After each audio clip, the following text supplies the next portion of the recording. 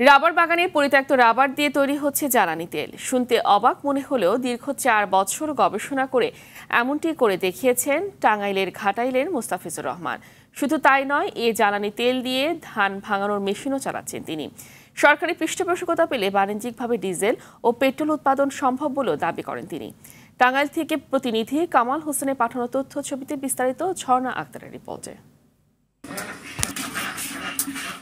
ছোটবেলা থেকেই নানা বিষয় নিয়ে গবেষণায় ব্যস্ত থাকতেন টাঙ্গাইলের ঘাটাইল উপজেলার দুলালিয়া গ্রামের মোস্তাফিজুর রহমান। সেই গবেষণা থেকেই দেশ বিদেশে জ্বালানি তেলের সংকট দেখে কীভাবে ডিজেল উৎপাদন করা যায় এর চিন্তা মাথায় আসে তার।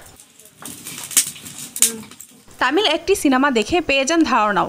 এরপর দিনভর পাহাড়ি অঞ্চলে ঘুরে পরিত্যক্ত রাবার সংগ্রহ করতে থাকেন। পরে তা বাড়িতে এনে চুলোয় জাল দেন। সেখান থেকে বের হওয়া তরল পদার্থ পরিশোধন করে ধান ভাঙানোর মেশিনে দিলে তার দিব্যি চলতে থাকে।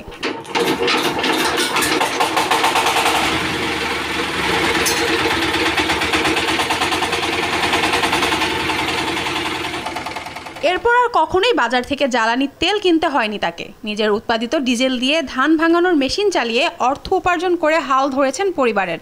সরকারি পৃষ্ঠপোষকতা পেলে বাণিজ্যিকভাবে ডিজেল ও পেট্রোল উৎপাদন সম্ভব বলে জানান তিনি। এই কস দ্বারা সরাসরি কিংবা আপনার পলিথিন, পরে জুতা, মুতা যত যা আছে ওইটা কোনো প্রক্রিয়াজাত করে না। ডাইরেক্ট ওই ডামের ভিতরে ঢুকাই দিব, ঢুকাই দিয়ে নাট আটকাই দিব, পরে এই ধরনের রাবার জাতীয় যা আছে সব কিছু দিয়েই ডাইরেক্ট কৃষকরা এই সেলু ইঞ্জিল চালাইতে পারব পানি পানি সেচ দিতে পারব। চার থেকে ছয় করে একটা ইঞ্জিল যেই পরিমাণ জ্বালানি তেল খাইয়া চলে ওই পরিমাণ জ্বালানি তেল খরচ করিয়া চল- তিরিশ থেকে চল্লিশ গোড়া ইঞ্জিলে যেই শক্তি দেয় ওই পরিমাণ শক্তি উৎপাদন করার মতো আমার কাছে একটা সিস্টেম আছে। আমাকে যদি সরকার সহযোগিতা করে তাহলে আমি এই প্রজেক্টগুলো বাস্তবায়ন করতে পারব। প্রথমে ছেলের এমন কর্মকাণ্ডে বকাঝকা করলেও পরে সফলতা দেখে খুশি মা আলিয়া বেগম। চেষ্টার পরে আল্লাহ একটু ই করছে। এখন আপনারা যদি সবাই সহযোগিতা করেন। আমার ছেলে দেখা যায় অনেক এগিয়ে যেতে পারব। মুস্তাফিজুরের এমন সাফল্যে খুশি তার আত্মীয় স্বজন ও এলাকাবাসী। এলাকা আমাদের সবাই যে চেষ্টা করে তাহলে সেলো মেশিন যারা ধান চাষের জন্য বা অন্য অন্য যে মেশিনগুলোর এলাকায় তেল জাতীয় তারা চালাতে পারব নিজেরা নিজের তেল নিজে উৎপন্ন করে চালাতে পারে। আর এই গাছের রসটা দিয়ে এমন মানে অনেক অনেক উৎপাদন হয়েছে সুন্দরভাবে এই কাজটা পরিচালনা করতে পারে। এবং যেন সে যেন এই ডিজেল, ডিজেলটা তৈরি করে যেন গ্রামের উন্নয়ন করতে পারে। আমি চাই সরকারিভাবে তাকে এরকম সহযোগিতা করা হোক। তো আমাদের দেশের মধ্যে অনেক ডিজেল, পেট্রোলের প্রয়োজন বা আমরা দেখা যায় দেশের বাহির থেকে আনতে হয়।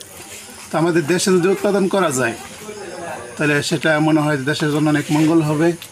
বা আমাদের এলাকারও অনেক মঙ্গল হবে। এদিকে মুস্তাফিজুরকে সব ধরনের সহযোগিতার আশ্বাস দিয়েছেন স্থানীয় এই জনপ্রতিনিধি। সরকারি যদি কোনো আইনত কোনো বাধা বিপত্তি না থাকে সেটা করবে। আমরা তার সহযোগিতা করব। আরও বহু মানুষের উপকার হবে। প্রয়োজনীয় পৃষ্ঠপোষকতা পাবে মুস্তাফিজুর। তার মতো গ্রামীণ অর্থনীতিতে হাল ধরবে অন্যরাও। এমনটাই প্রত্যাশা সকলের।